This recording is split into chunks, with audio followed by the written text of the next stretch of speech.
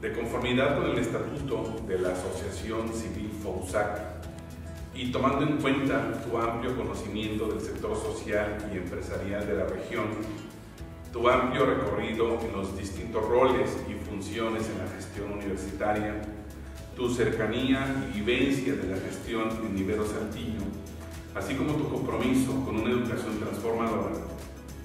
muy grato nombrarte directora general de la Universidad Iberoamericana Saltillo, la Universidad Jesuita en el noreste de México, para el periodo 2024-2028, a partir del 18 de enero de 2024. Pues aquí están los poderes entregados a la directora general para que esta Ibero eh, despliegue alas, despliegue velas y sea una universidad muy pertinente para nuestros Externar mi compromiso públicamente con cada uno de mis compañeros, eh, con, con, usted propiamente como nuestro mentor, nuestro máximo líder en esta gestión educativa,